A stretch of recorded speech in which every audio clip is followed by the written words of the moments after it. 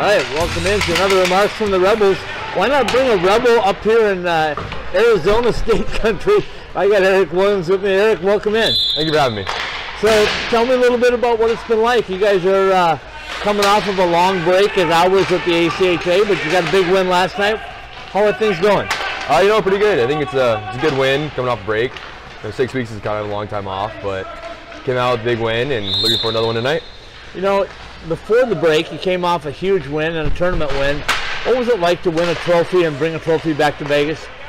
I think, you know, just get high note to end off on going into break. And, you know, anytime you can win something like that against the top ranked team is, is pretty special. And we have a special group of guys here, so just keep moving forward and moving up.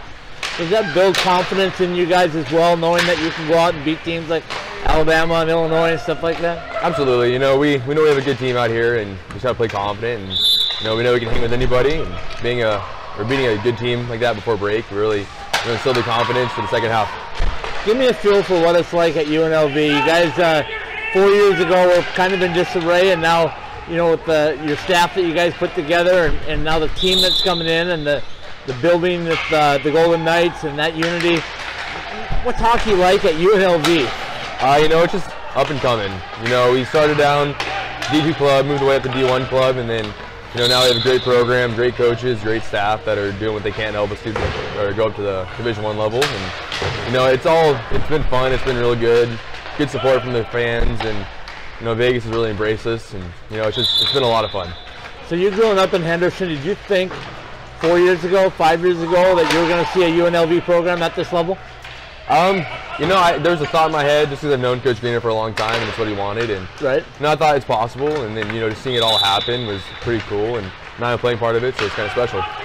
So now you're here on the part of the four games, five nights, kind of a brutal road trip, but as Coach told me last night, it's kind of mimicking what the national tournament would be like, where it's one and done, and it's four games and four nights. So, how are you guys approaching it right now? You know, I think just going one one game at a time, keeping it simple. You know, it's, good to start off with a win, build some confidence in the second half, and you know, guys are just pushing along and getting our legs back under us, and got the rust off yesterday. So, we're looking forward to the next few days. So obviously, when the ACHA D1 tournament, it's all about getting in first, right? You got to be in yeah. the rank part of it, and then once you're in, it becomes a battle. Really, it's it's the best teams in the country, and they're going at it. Uh, one loss and you're done, as we said earlier. But how important is for you guys to get as high of uh, a seed as you can coming into the national tournament? You know, I think it's, it's pretty important going in there knowing you're a pretty good team and you know, nothing's going to be easy in nationals. Everyone's a good team. Everyone deserves to be there. So I think just being a high-ranking team can help build confidence in ourselves. And you know, we play Arizona this week, and they're a high-ranked team. So you know, if we can go out there and get a couple wins in Tucson, just you know, build more confidence and establish the fact that we're going to be a solid team for the rest of the year. You spent the first part of the of the season, the first semester, mostly on the road. Now you get to come back and get some home cooking and get some fan support behind you. So how much is that going to help you guys down the stretch? That's tremendous. You know, we play really well in front of our home fans. You know, a lot of support, packed house every night, and you know, anytime you can have that opportunity to play a stretch of, I think we play nine games at home. Right. You know, let's get the bus rolling and you know build the momentum going into the final in a few weeks of the season and the nationals.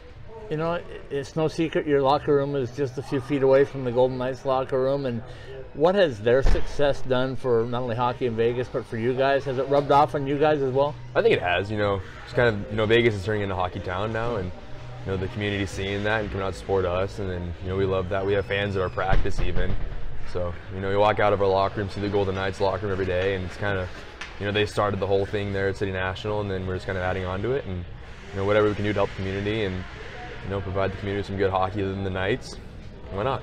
So I know a couple of uh, years ago, talk was that you guys would, would, would like to be an NCAA program at some time, and now that with the Golden Knights' success and with the success of the Arizona State NCAA team, at least the media attention is growing a little bit. Do you guys think about that at all, or you just try to put it in the back of your head and play for where you're at right now? You know, we, we think about it sometimes, but you know, for the most part, we just show up every day, practice, have fun. You know, if it happens soon, it's great. It takes a few years. You know, it'd be cool to say we were part of the program that we kind of got turned around and rolling and you know we were kind of foundation to get to the D1 program. Let's finish it up, Eric, by telling me how important it is for you to win almost the rivalry games with Arizona State and with U of A now and, and things like that. How important is for you guys to pull not only for the record but just for dominance in the desert Southwest, if you will? Yeah, I think you know beating. I mean, Arizona State's a good team. Arizona's obviously a good team. They're ranked high, and you know beating them can kind of uh, what's the word I'm looking for? Kind of solidify our, our spot in the Southwest, and you know realize that hockey's not bad in the Southwest. There's some top programs for kids to go to. Awesome. Appreciate your time. Good luck tonight. Good luck the rest of the way, and we'll catch up with you in Vegas. Thanks. Appreciate it.